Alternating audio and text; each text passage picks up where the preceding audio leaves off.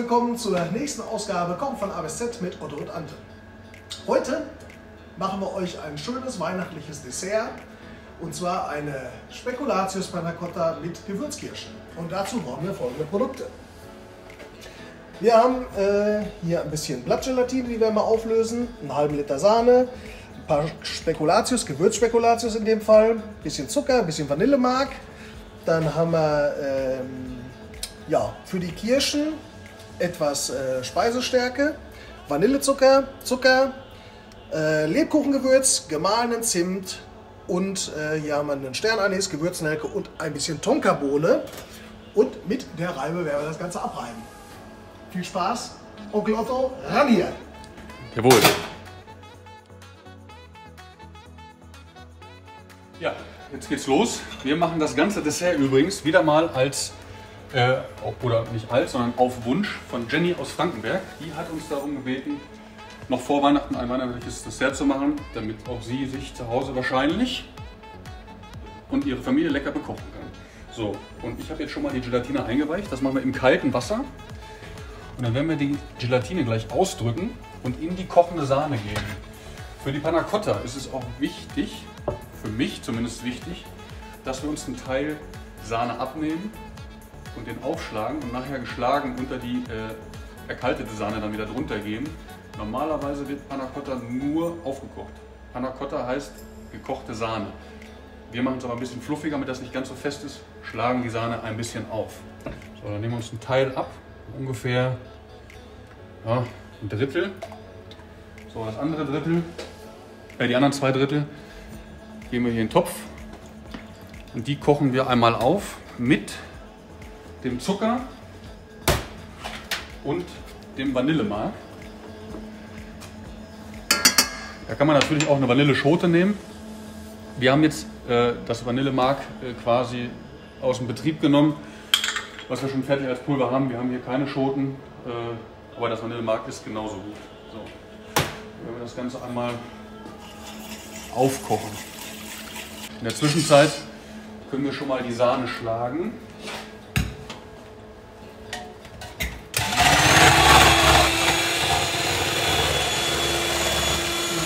Abstand, Mit Abstand. mit Abstand die beste Sahne. Ja.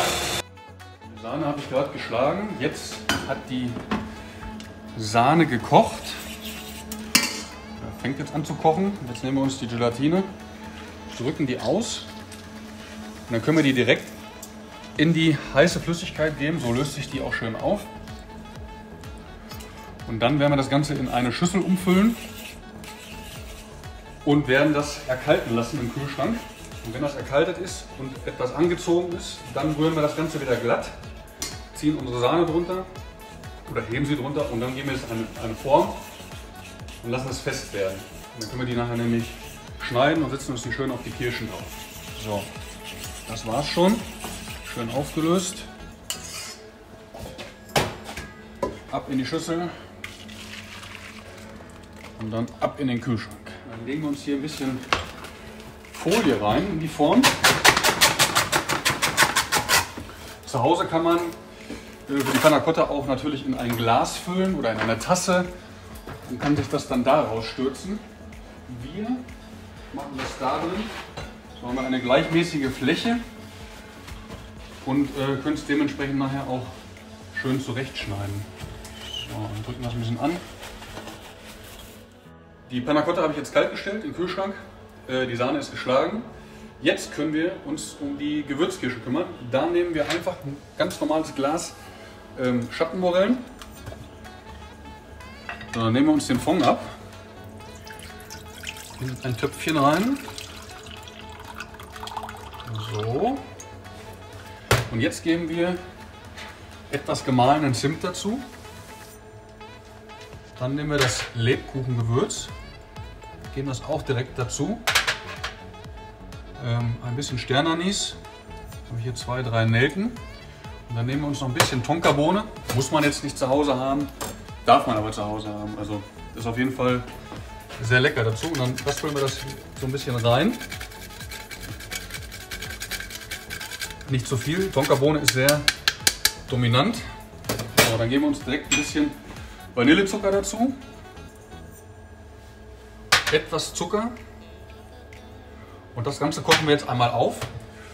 Und wenn wir das aufgekocht haben, dann nehmen wir uns die Maisstärke und binden uns das auf unsere gewünschte Konsistenz ab. Lassen es einmal durchkochen, damit der Stärkegeschmack rausgekocht ist. Und dann geben wir die Kirschen dazu und dann sind wir schon fertig. Dann brauchen wir nur noch die Panna Cotta fertig haben, ähm, schneiden die, setzen die schön mit da drauf auf die Kirschen und essen unser leckeres Dessert. Und jetzt werden wir die Kirschen oder den Kirschfond abbinden. Das geben wir natürlich direkt in die kochende Flüssigkeit. Da rein. So. Noch ein Beitchen. Das Ganze lassen wir noch ein ganz klein bisschen köcheln, damit, der, damit die Aromen sich vernünftig äh, entfalten können. Und dann geben wir gleich die Kirschen dazu. Der Christian hat äh, mich gerade so ein bisschen äh, genervt. Er sagte, wir müssen noch den Spekulatius sacken. Machen wir das. So, dann können wir ja so ein bisschen fein runterschneiden.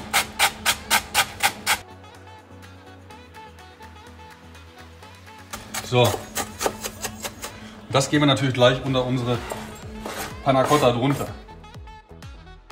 So, jetzt habe ich die äh, Panna Cotta oder die äh, gekochte Sahne aus dem Kühlschrank genommen. Man sieht, sie war lange genug äh, im Kühlschrank. Sie ist fest geworden. Das rühren wir jetzt wieder glatt. Das ist auch ein gutes Indiz, dass es fest geworden ist, dass die Gelatine nicht kaputt ist. So wissen wir auf jeden Fall, dass die ganze Creme erhalten wird. Wenn natürlich die Rezeptur stimmt. Aber da werden wir jetzt gleich keine Schwierigkeiten haben. Das wird passen. So, guck mal, siehst du schon, wie dick das ist, ne? So. Jetzt geben wir die geschlagene Sahne dazu.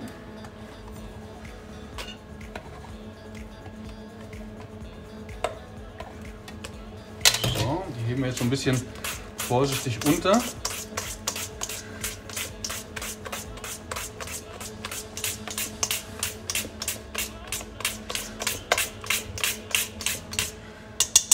So, und jetzt geben wir die ähm, Spekulatius, äh, Spekulatius, Spekulatius äh, drunter. Erst zum Schluss. So, das gehen wir vorsichtig rein. Oh, wie lecker das aussieht. So, und dann geben wir das in eine Form. Lassen das jetzt zwei Stunden im Kühlschrank erkalten. Sollte das durchgezogen sein vielleicht auch drei Stunden, je nachdem wie zu Hause da Betrieb im Kühlschrank ist. Und äh, dann ist es schnittfest. Dann kann man das hundertprozentig anrichten. So. Da haben wir jetzt die, äh, den Fond etwas reduzieren lassen, haben den ja gerade abgebunden. Da werden wir jetzt mal die Sternanis raussuchen. Und die Nelken, die brauchen wir nachher nicht mit auf dem Teller machen. Wenn wir sie denn kriegen, waren drei Nelken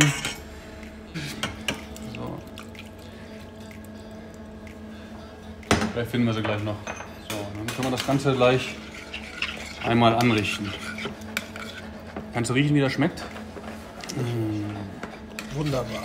Wunderbare Gewürzkirsch. Jetzt sind die zwei Stunden rum. Jetzt habe ich die Panna Cotta aus dem äh, Kühlschrank genommen. Man sieht, die ist schön angezogen. Jetzt werden wir das Ganze einmal stürzen.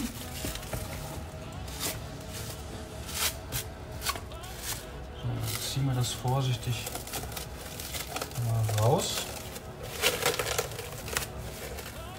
Wenn es dann kommt, dann kommt So, jetzt ist es gekommen. So. Bisschen schräg halten. Ganz vorsichtig ziehen, dass nichts kaputt reißt. So. Schneiden wir uns das eben einmal so ein bisschen gerade.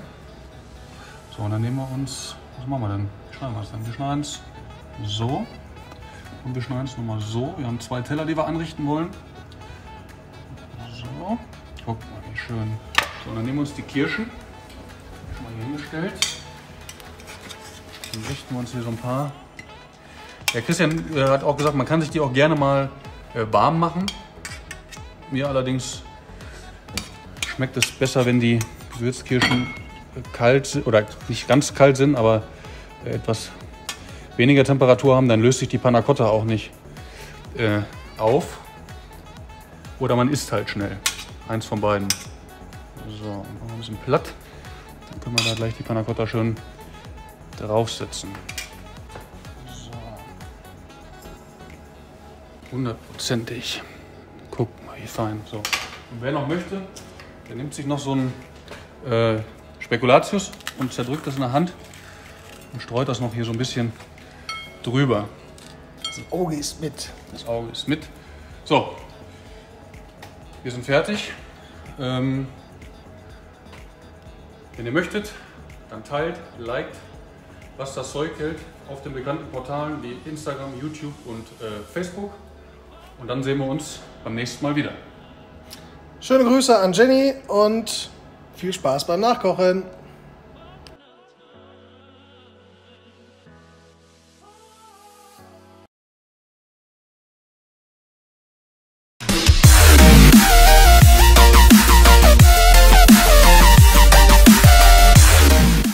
Wir mal, wer bitte, wer bitte schön hat Tonkabohnen zu Hause?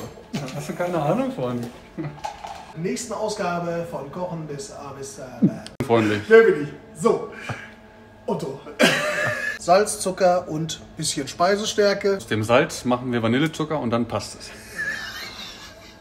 Nochmal. Du musst mich besser instruieren. Mach mal auf. Was? Mach mal die Nachricht Bist du aufgeregt? Mach die Nachricht Hilfe! Hilfe! Ich will Hast du da ein bisschen zu viel am Gewürztopf geschnüffelt? Ja, ich habe einen an der Kirsche. Ja. Oh. Wo sind wir? Wichtige Sache. Was denn? Kochen. Ne? So crunchen da rein. Crunch. Der Grinch oder der Crunch? Du bist so ein Idiot. Was? Was? Was? Wenn wir alle nur über dich lachen, können sie auch mal über mich lachen. Kennst du das? Wie wirklich auch andere? Solltest du dir mal Gedanken darüber machen? Spiel dich mal hier nicht auf wie der große Chef, ja? Sonst benennen wir das ganze Ding um in Anto und Otto. in die Nase. Ich habe mir die Nase nicht rasiert. Die kann ich dir gerade ausflemmen. Ich kann dir auch gleich was ausfüllen.